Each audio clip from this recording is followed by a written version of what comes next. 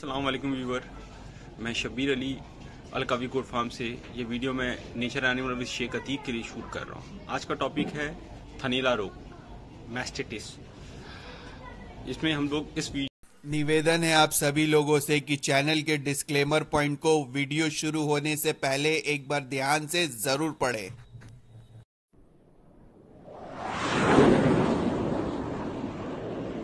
वालेकुम व्यूवर मैं शब्बीर अली अल कवी कोट फार्म से ये वीडियो मैं nature animal with Sheikh Atiq के लिए शूट कर रहा हूँ। आज का टॉपिक है थनीला रोग मैस्टिटिस इसमें हम लोग, इस वीडियो पे हम लोग दो तीन चीज़ डिस्कस करेंगे। पहले ये कैसे होता है, दूसरा इससे बचा कैसे जाए, और तीसरा इसका ट्रीटमेंट और आप कैसे समझेंगे कि थनीला रोग हो चुका है। तो पहले स्टार्ट करते हैं हम लोग।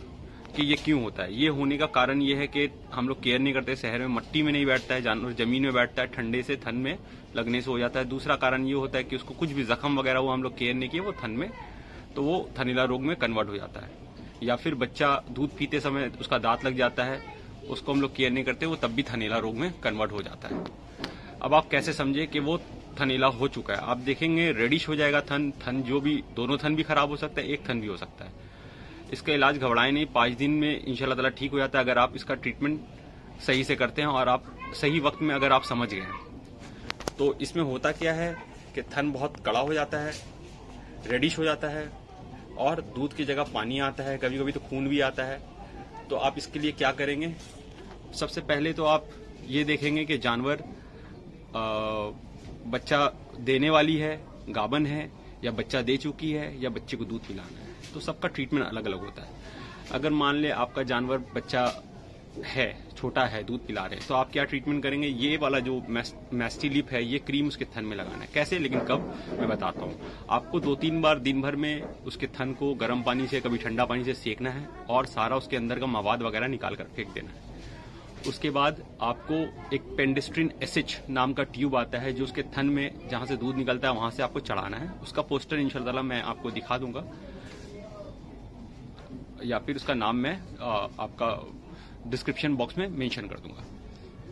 तो वो आपको चढ़ाना है। चढ़ाने के बाद ये क्रीम आपको लगाकर छोड़ देना है। ये क्रीम आप लगाएँगे, इससे क्या होगा कि उसका जो थन जो कड़ा हुआ है, वो हार्डनेस चला जाएगा। इसका तीन से पाँच दिन में इलाज है, ठीक हो जाता है सही वक्त में करने से। तो ये करना है और इसके अलावा आपको मेस्टिक्योर या मेस्टिकॉन नामक एक पाउडर आता है, सौ ग्राम का पैकेट पचास साठ रुपए में आता है, पचहत्तर रुपए में आता है। दोनों अलग अलग कंपनी की है, लेकिन दोनों का काम सेम ही करता है। उनमें से कोई भी आप ले लें। हाफ़ पैकेट उसमें तो आपका लिखा हुआ है टेन ग्राम वगैरह खिलाने, लेकिन आप half packet twenty five grams या फिफ्टी ग्राम्स ऐसा देखें जैसा कंडीशन है। उसको आधा आधा पैकेट आप दो टाइम में पिलाएँ, पाँच दिन तक। उससे क्या होगा कि दूध में आप चेक करेंगे ना, नमक आ जाता है, नमकीन आ जाता है, गंदा हो जाता है ऑर्डर हो जाता है तो वो दूध को सफ़ा करेगा। और ये वाला जो आप, ये मैस्टीलीप लगाएँगे, इससे उसका थन में जो हार्डनेस आ गया, कड़ा हो गया है, वो खत्म हो जाएगा।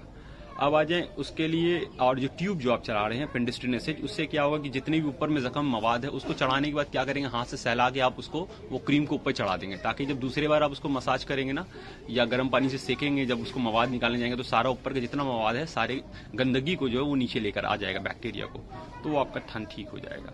इसका इलाज बहुत सिंपल है, लेकिन सही वक्त में करें और सही तरीके से करें। तो इंशाल्लाह आपका थन ठीक हो जाए। नहीं तो फार्मर भाई लोग को सबसे बड़ा लॉस जो है, इसी बीमारी के इससे होता है। अगर एक थन खराब हो जाता है, एक थन रहता है तो उसको दूध मिलता नहीं, बच्चे को प्रॉपर दूध नहीं मिलेगा। थन सही वक्त में अगर पाँच छह दिन के अंदर आप इलाज नहीं किए, वो थन ब्लॉक हो जाएगा, उसमें गिल्टी गिल्टी हो जाएगा और वो थन खराब हो जाएगा। तो आज की वीडियो में इतना ही। Thank you very much disclaimer point को कृपया करके ध्यान से ज़रूर पढ़ें।